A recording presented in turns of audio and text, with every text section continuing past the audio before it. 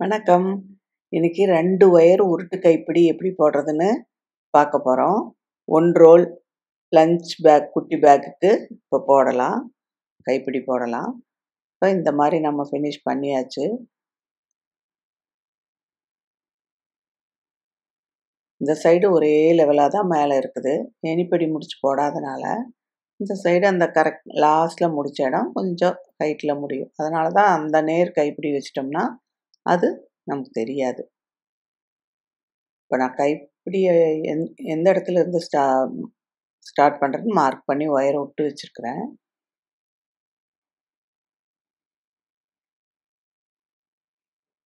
ஒண்ணு, 2, 3, 4, 5 5வது இது மேல இருந்து. இந்த எல்லோ ஒயர் சொருகுனது. இந்த முக்கு கார்னர்ல இருந்து பாத் எடுத்து அந்த லைன்ல இருந்து 2, 3, 4, 5 ம். 1, 2, 3, 4, 5 5க்கு 6க்கு நடுவுல இருக்கிற லைன் அப்படி வந்து 1, 2, 3, 4 5வது ஆ அதுல சொருகி எடுத்துக்கலாம். இந்த எல்லோ ஒயர் வந்து ஸ்டப்பிங்க்கு. இதுவும் அதே மாதிரி 1, 2 இந்த மேலேருந்து இங்கே வந்து 1, 2, 3, 4 5வது அது சைட்லேருந்து இது இது 4ஏ அப்பதான் அந்த லைனில் வரும். ஏன்னா அது ஒரு லைன் கம்மியாக இருக்கிறதுனால.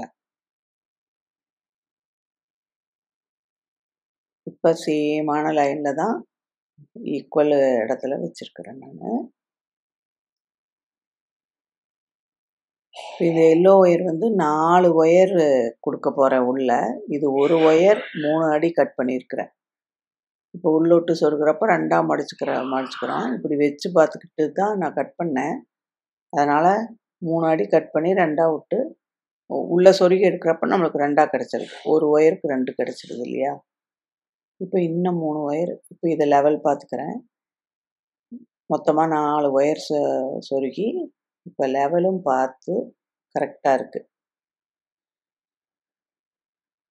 இப்போ ஹேண்டிலுக்குன்ட்டு ஆரஞ்சு ஒயரு ரெண்டு ஒயர் தான். எல்லோ கலர் நாலும் சொருகினது ஸ்டஃபிங் தான். ரெண்டு ஒயர் ஆறு அடி கட் பண்ணியிருக்கிறேன்.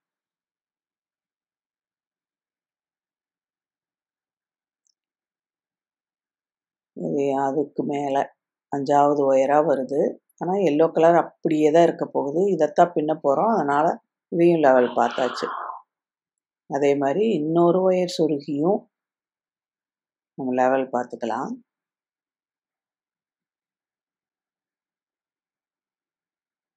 இதையும் லெவல் பார்த்துட்டேன்.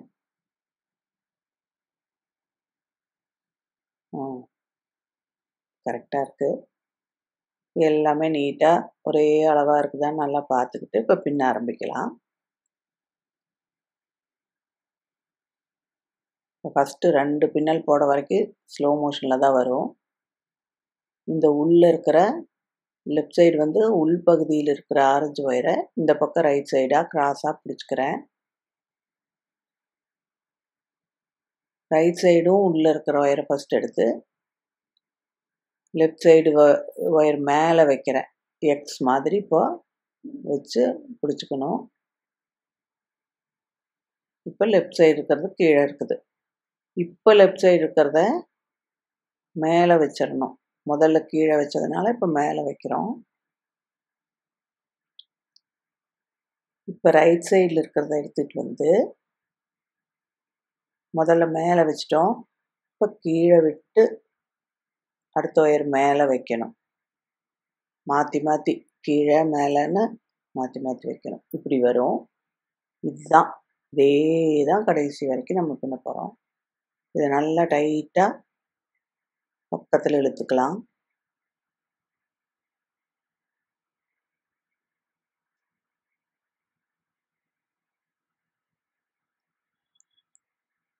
இது வந்து ரைட் சைடு மேலே லூஸாக வருது. லாக் ஆகலை லெஃப்ட் சைடு லாக் ஆகிருக்குது அதனால் லூஸாக இருக்கிற இடத்துல இருந்து தான் ஃபஸ்ட்டு ஆரம்பிக்க போகிறோம் இப்போ இப்போ மாற்றி வச்சதுக்கப்புறம் ரைட் சைடு இருக்கிற ஒயரை ரைட் சைடு மேலே இருக்கிற ஒயர். ஆ. ரைட் சைடு மேலே இருக்கிற ஒயரை அடிப்பக்கமாக விட்டு அடிப்பக்கமாக விட்டு லெஃப்ட் சைடு எடுத்துகிட்டு வரலாம்.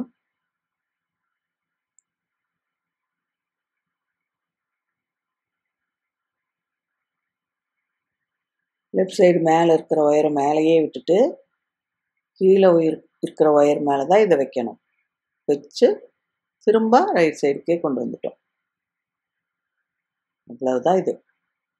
இதே தான் அடுத்த சைடும் பண்ண போகிறோம் இப்போ நல்லா ரைட் சைடு இந்த ரெண்டையும் சேர்த்து நல்லா டைட் பண்ணிவிட்டு லெஃப்ட் சைடு இருக்கிறத அதே மாதிரி அடியில் கொண்டு வந்து இப்போ மேலே இருக்கிற ஒயரை விட்டுட்டு கீழே இருக்கிற ஒயர் மேலே வச்சு லெஃப்ட்டுக்கே கொண்டு வந்தாச்சு.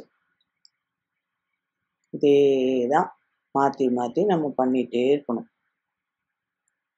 இப்போ ஒவ்வொரு தடவையும் நல்லா டைட் பண்ணிக்கணும். அந்த எல்லோ கலர் ஒயர் ஒயர்ஸ் வந்து அப்படியே இருக்க வேண்டியதான் நம்மளை அதை ஒன்றும் டிஸ்டர்ப் பண்ணாச்சு போய் பாருங்கள் ரெண்டு முடிச்சு போட்ட உடனே டைட்டாக நேராக நின்றுக்கும் அந்த நாலு ஒயருங்கிறது எட்டாக இருக்குதுல்ல அது அப்படியே சேர்ந்து அப்படியே நின்றுக்கும் இப்போ ரைட் சைடு இருக்கிறது மேலே இருக்கிறது. அடியில் விட்டு லெஃப்ட்டு கொண்டு வரோம். லெஃப்டில் கொண்டு வந்ததுக்கப்புறம் மேலே இருக்கிறத தனியாக மேலேயே விட்டுட்டு அதுக்கு கீழே இருக்கிற ஒயர் மேலே தான் வைக்கணும். வச்சு திரும்ப லெஃப்ட்டுக்கே ரைட்டுக்கே கொண்டு வரணும். திரும்ப ரைட்டுக்கே கொண்டு வந்துட்டோம். இப்போ லெஃப்டில் இருக்கிறத எடுத்துகிட்டு அடியிலிருந்தே தான் எடுத்துகிட்டு எடுத்துகிட்டு வரணும். மேலே இருக்கிறத விட்டுட்டு கீழே இருக்கிறது மேலே வச்சு லெஃப்ட்டுக்கே கொண்டு வந்தாச்சு. ரைட்டில் இருக்கிறத எடுத்த எடுத்து அடியில் கொண்டு போய் கொண்டு வந்தோம்னா ரைட்டுக்கே கொண்டு வரோம். இதே தான் மாற்றி மாற்றி பண்ணுறோம் பார்த்துட்டே இருந்தால் உங்களுக்கு ஈஸியாக நல்லா புரியும். நான் கொஞ்சம் நீளமாகவே போட்டு காமிச்சிருக்கிறேன். இப்போ இது மேலே இருக்குது. அதை தான் அடியில் எடுத்து கொண்டு போகிறோம் ரைட் சைடில் இருக்கிறத.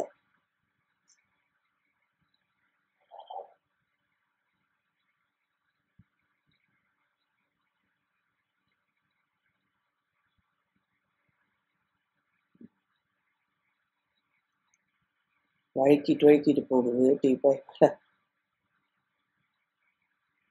நல்லா ஒரு ஒரு தடவையும் நம்ம டைட்டாக எடுத்து பிடிச்சிக்கணும். லெஃப்ட்லேருந்து எடுத்து வந் எடுத்துகிட்டு வந்திருக்குறோம். அடியிலேருந்து. மேலே இருக்கிற ஒயரை விட்டுட்டு தான் கீழே இருக்கிற ஒயரை மேலே வச்சு வச்சு பிடிக்கிறோம்.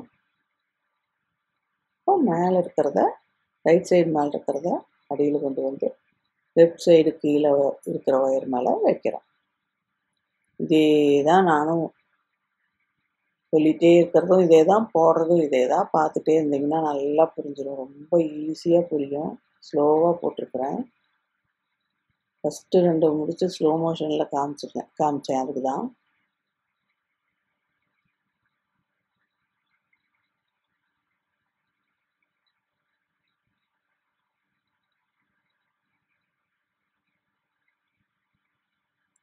கொஞ்சம் பொறுமையாக ஒரு இது வ- இது வரைக்கும் வந்தோடனே நமக்கு நல்லா தெரிஞ்சிடும் இதுக்கு மேலே வந்து ரொம்ப ஈஸியாக போட்டுகிட்டே போயிடலாம். மேலே ஒரு ஒயர் விட்டுட்டு கீழே இருக்கிற ஒயர் மேலே வச்சு தான் இந்த சைடு கொண்டு வரோம். இதே கான்செப்ட் தான். அங்கேருந்து எடுத்துகிட்டு வந்து மேலே இருக்கிறத விட்டு கீழே இருக்கிறது மேலே வச்சிடுறோம். இந்த சைடு கொண்டு போயிடுறோம். எங்கேருந்து எடுத்துகிட்டு வரோமோ அந்த சைடே தான் கொண்டு போகிறோம் ரைட்டில் மேலே இருக்குது. அடியில் விட்டு எடுத்துகிட்டு வந்து வைக்கல. ரைட்லேயே கீழே வந்துடுது அதே ஒயரு ஒரு சுற்றி சுற்றி சுற்றிட்டு இப்போ மேலே இருக்கிறது. இப்போ இதுலேயே பார்த்தா தெரிஞ்சுக்கும். இப்படி இழுத்து பிடிச்சப்போ மேலே இருக்கிறது தான் ஃபஸ்ட்டு எடுக்கணும். நம்மளுக்கு திடீர்னு மறந்தா கூட. போட்டுக்கிட்டே இருந்து எதை ஃபஸ்ட்டு போட்டோம் எங்கே போனோம் அப்படின்னு இருக்கிறப்ப இழுத்து பிடிச்சோம்னா எந்த சைடு நாலு ஒயர்லையும் சேர்த்து மேலே இருக்கிறதோ அதை தான் ஃபஸ்ட்டு எடுக்கணும்.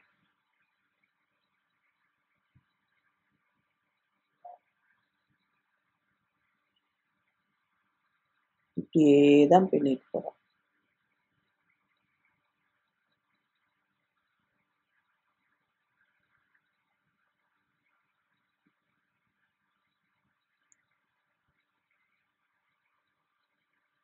இப்போ பெரிய குடைகளுக்கெல்லாம் இந்த உள்ள எல்லோ கலர் கொடுத்துருக்குறோம் இல்லையா? அந்த மாதிரி நம்ம ஸ்டஃபிங் கொடுக்கறதுக்கு எவ்வளோ ஒயர் வேணாலும் கொடுத்து நம்ம ரெண்டு ஒயர் கை இப்படியே கூட போடலாம். பயங்கர ஸ்ட்ராங்காக இதுதான் இருக்கும். ஏன்னா உள்ள ஸ்டஃபிங் இருக்குது. அதனால் இப்போ இது வந்து ஆறு அடி வெட்டியிருக்கேன் ஆரஞ்சு இப்போ மேலே இருக்கிறத கீழே கொண்டு போகிறோம் சப்போஸ் பெரிய கூடைக்கு வந்து உள்ளே வந்து ஸ்டஃபிங் வந்து இது நாலுக்கு பதிலாக ஆறு கொடுத்தோம் ஏழு கொடுத்தோம்னா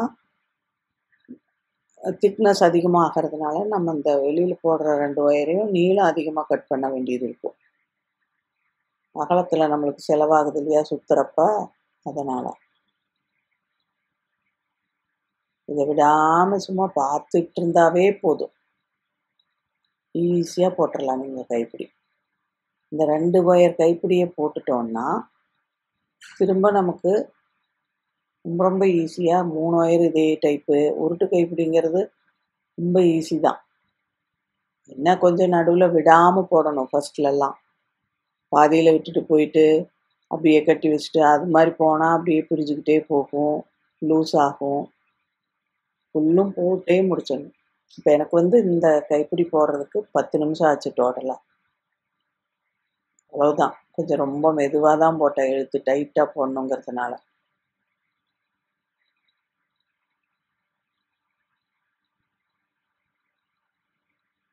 இப்போ லெஃப்ட்லேருந்து ரைட்டுக்கு கொண்டு வரோம். திரும்ப லெஃப்ட்டுக்கே கொண்டு போகிறோம் ஞாபகம் வச்சுக்க வேண்டியது அடியிலிருந்து தான் எடுத்துகிட்டு போகணும். லெஃப்டில் இருந்துன்னா ரைட்டுக்கு போகணும். ரைட்டில் இருந்துன்னா லெஃப்ட்டுக்கு போகணும். மேலே இருக்கிற ஒயரை விட்டுறணும். கீழே இருக்கிறது மேலே தான் வைக்கணும். இதுதான். இதுதான் நம்ம கவனத்தில் மறக்காமல் வச்சுக்கணும்.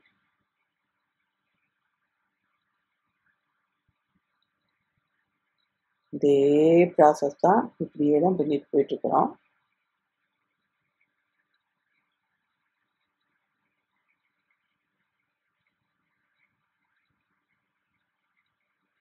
நல்லா கூட வந்து நல்லா ஸ்ட்ராங்காக போட்டதுனால கைப்பிடியும் ஸ்ட்ராங்காக இருக்கணும்னு சொல்லிட்டு நாலு ஒயர் உள்ளே கொடுத்தேன். இன்னும் கொஞ்சம் தின்னாதான் இருந்தால் தான் எனக்கு பிடிக்கும் அப்படிங்கிறவங்க மூணு கொடுத்தா கூட போதும்.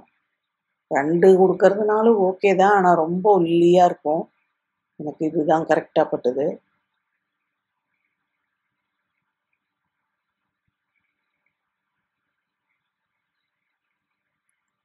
இப்போ ரெண்டு ஒயர் கைப்பிடிக்கெல்லாம் ஸ்டப்பிங் வந்து இந்த மாதிரி கொடுக்கறது தான் நல்லது. பிட்டு பிட்டு எல்லாம் சொல்கிறது விட. மூணு ஒயர்லேருந்து வேணால் நம்ம அந்த கேப்புக்கு குட்டி குட்டி பிட்டு இருந்தால் கூட சொருகலாம் அது மூணு ஒயர் நாலு ஒயர் போடையில் எப்படிங்கிறத பார்க்கலாம்.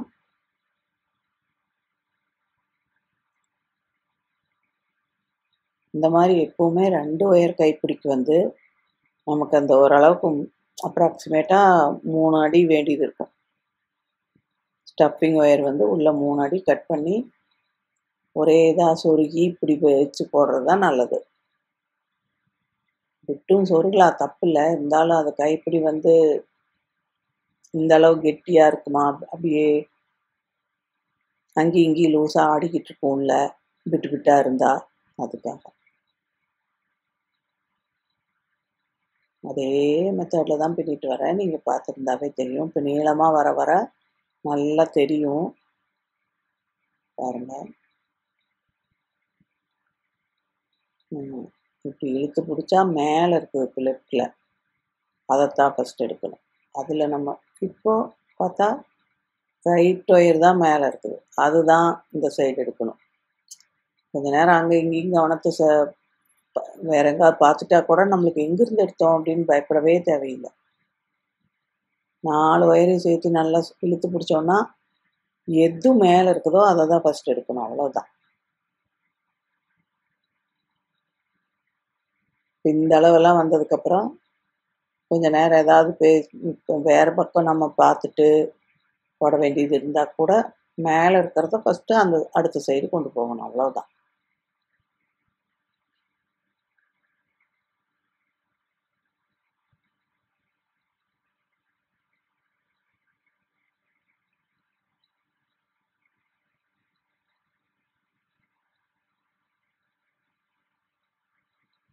கைப்பிடி எப்படி போடுறதுன்னு கொஞ்சம் கூட தெரியாட்டி கூட இந்த ரெண்டு ஒயர் கைப்பிடி ரொம்ப ரொம்ப ஈஸியாக போட்டுடலாம். வீடியோ பார்த்து கண்டிப்பாக எல்லோரும் போட்டு பழகுங்க. ரொம்ப ரொம்ப ஈஸியாக ரொம்ப ஸ்லோவாக போட்டு காமிச்சிருக்கிறேன். கொஞ்சம் நீளம் அதிகமாகவே போடலான்னு அதனால தான் போட்டு காமிச்சேன். கண்டினியூஸாக கொஞ்சம் நேரம் பார்த்தா தான் நம்மளுக்கும் புரியும். இதே தான் ரெண்டு ஒயர் மூணு ஒயர் நாலு ஒயர்.